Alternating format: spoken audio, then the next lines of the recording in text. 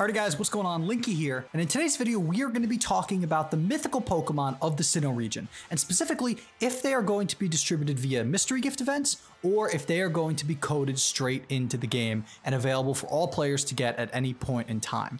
This is going to be an interesting discussion for ILCA, the developers of Pokemon Brilliant Diamond and Shining Pearl, because it's going to be a change from the originals if they choose to just code them in. We've seen some interesting signs already as to what they're going to do, but I wanted to discuss it in detail here. So with that being said, let's jump straight into things.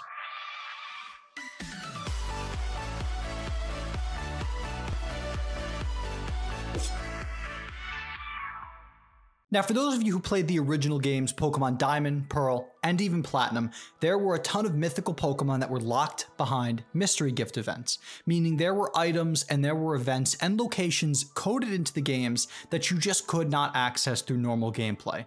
Some of the more iconic ones was the Arceus event, uh, which was never given out. It was an Azure Flute where you could take it to Spear Pillar and then you could summon Arceus and you could fight him and you could catch him and do this whole thing.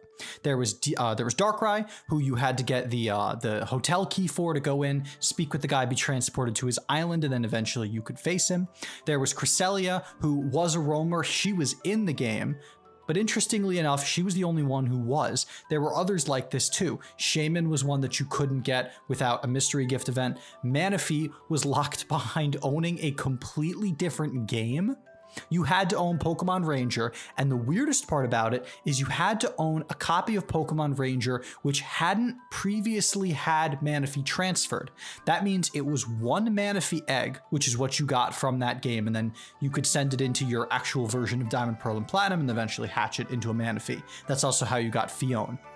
But it was one Manaphy egg per copy. It wasn't per save file, it wasn't per system, per copy. So to find a Manaphy from Pokemon Ranger today is incredibly difficult. It's one of the rarest Pokemon to find because Pokemon Ranger is a game of limited quantity. There are no more production of Pokemon Ranger, the game, in existence. The copies that are out there are it. So Pokemon Diamond, Pearl, and Platinum were famous. They are renowned for having so many Pokemon restricted to mystery gift events. But that brings up an interesting question. Are they going to do the same thing in Pokemon Brilliant Diamond and Shining Pearl? Will Pokemon like Darkrai and Arceus and Shaymin, are they going to be locked behind Mystery Gift or from other video games? Who knows? Maybe to get Arceus in Brilliant Diamond and Shining Pearl, you need to own Legends Arceus. Who knows? There's a lot of things that they could do, but it's going to be interesting to see how they approach it. And we have a piece of evidence already that shows that they are at least changing their, their approach a little bit. If you're an early adopter of Pokemon Brilliant Diamond and Shining Pearl, I believe the cutoff is February of 2022. So if you get the game before then, you are going to be able to get a Manaphy through Mystery Gift. This was announced a couple weeks back. I forget if it was with the new trailer or if it was further back. I believe it was with the new trailer that you'll be able to get this Pokemon as an early adopter's gift if you get the game on launch and then up to February of next year, up to pretty much around the time of Legends Arceus's release. Now this is interesting for a variety of reasons. The biggest one of course is that this is a difference in distribution method. Manaphy, like I said before, came from Pokemon Ranger. Now you're getting it from Mystery Gift. So this is actually a Pokemon that's been added as a Mystery Gift giveaway. This is new, this is different. But it tells us that they are willing at least to make changes. Now with Manaphy it makes quite a bit of sense. You're not going to say, oh, get Pokemon Ranger. They're not going to release a remake of Pokemon Ranger. They're not going to make it so, oh, Legends, you can get Manaphy. That's a little silly. Manaphy's not the biggest, most impressive mythical Pokemon on the roster. It's, it's, he's a nice Pokemon, but you know, it's Manaphy. You get the Phione too. It's cool. But it shows that they're willing to at least do that under certain circumstances. So what about Pokemon like Darkrai? What about Pokemon like Shaymin? These are mythicals that not only had a special item that you needed to use to actually gain access to them through Mystery Gift, but it unlocked islands, new locations, different mini storylines in the games themselves. And the criticism towards Pokemon has been ever since then that if you don't get these events when they first come out, this is content that is locked away from you unless you of course use some kind of cheating device if you're running it as a ROM, etc. But if you're playing it normally on a DS, this is an event, this is a piece of Pokemon history that is gone. It doesn't exist anymore through normal means. We've all experienced these games. We've played Pokemon Diamond and Pearl. We've experienced these events. I remember as a kid getting the Darkrai, the Shaymin, the Arceus. I believe Shaymin was able to be gotten in the United States from Toys R Us, I want to say. I have vivid memories of all this stuff. But it's ultimately a question that ILCA will have to address. And I think based on everything that I've heard, I think they're probably going to go the route of still doing Mystery Gift, even though, in my opinion, they should just code them in. And there's a couple reasons why I think that. Now, before I go any further, I just wanted to mention that the vast majority of you guys who are watching these videos and hopefully enjoying them aren't subscribed to the channel. Now, subscribing is free. You can unsubscribe at any time, and it would really do a lot to show me that you're enjoying these Pokemon videos and that you want to see more in the future, because there is a lot to talk about with these games. So that being said, let's get back into things. Now, before I get into the reasons why I think it's going to happen, I think it's important to note some context.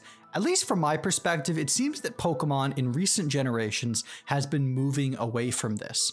And it might not be intentional, it might just be that we haven't really been seeing a lot of mythical Pokemon integration into the games as of late. The mythicals haven't been that much of a big deal, and in recent games, there haven't been all of these well laid out events for these Pokemon. One of the most famous ones, of course, is Volcanion in Pokemon X and Y. He just, you just got him in Mystery Gift. Such an interesting mythical, uh, had an interesting movie. It was not the best uh, animated movie Pokemon's ever put out, but he's an interesting looking Pokemon, and he's a water fire type, which is a rare combo for typings wise. I believe he's one of the only water fire types, if not the only one, unless I'm like forgetting someone, and you guys will remind me of that in the comments. But he didn't have any story, he didn't have any fluff added to him. He was just given through Mystery Gift, got a movie, and that's how it went. And that's kind of how they've been using mythicals recently, is that they have been strictly promotional material. So that might lead you to believe and based on the fact that there were a bunch of mythical Pokemon and legendaries that you could catch in the Crown Tundra DLC of Sword and Shield for the first time ever with no events necessary, that they're kind of relaxing themselves from doing these big hyped things for mythicals and legendaries as much. But then again, we come back to the games that we are remaking. Diamond and Pearl focused heavily on these mythical Pokemon. There were specific areas of the map designed for these Pokemon and for these events. And I think that it would give Nintendo some really nice promotional material for the months leading up to Legends Arceus' release, and eventually after that, to have a bunch of these events to let players play through. Having Darkrai come out in a certain time, having Shaymin come out at another time. This is, it's good material to advertise and sell the games, and they have remakes to do it. It's not as if they have to code in brand new areas to go to. It's not as if they have to make additions to a game where in which they weren't there before. This is a feature that already existed. And considering all we've seen, they are trying to stay pretty consistent to what the original messaging of the game was. They are trying to stay pretty faithful while still updating some quality of life features. HMs look like they're coming back. We don't know in what form, but we've seen rock climb in the overworld, so one would have to assume that they're sticking with some of these DS era features, and Mystery Gift and Mystery Gift events for mythical Pokemon is one of those features. Now, I don't think it should be the way it is. I think you should allow players to unlock Darkrai. You should allow players to travel to the flower fields and find Shaymin. I think that's what they're called. Uh, you should be able to just get Manaphy. I know that it's a mystery gift, but I would love Manaphy to have some content too, even though it wasn't in the originals.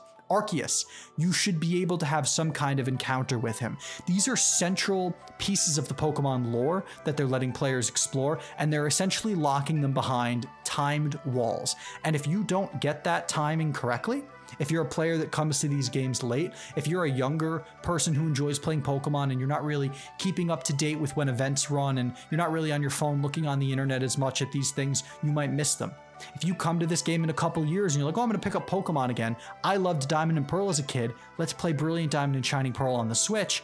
These Pokemon just aren't there for you unless you do a trade or you have a friend who had it, but you don't get to experience that event. And I think that's always been the big fault with these mythical events is that you want, at least I would think, to have as many people playing through them as possible because they're some of the most interesting and coolest parts of these games. The lore that gets added onto, the really cool environments that you get to see, the you get to see the prowess and the prominence and the power of mythical Pokemon in this world. And to have those things locked behind something so arbitrary like a mystery gift event, it's just never made a ton of sense to me. So that's why I think they're going to keep mystery gift events, but it's also why I think they shouldn't.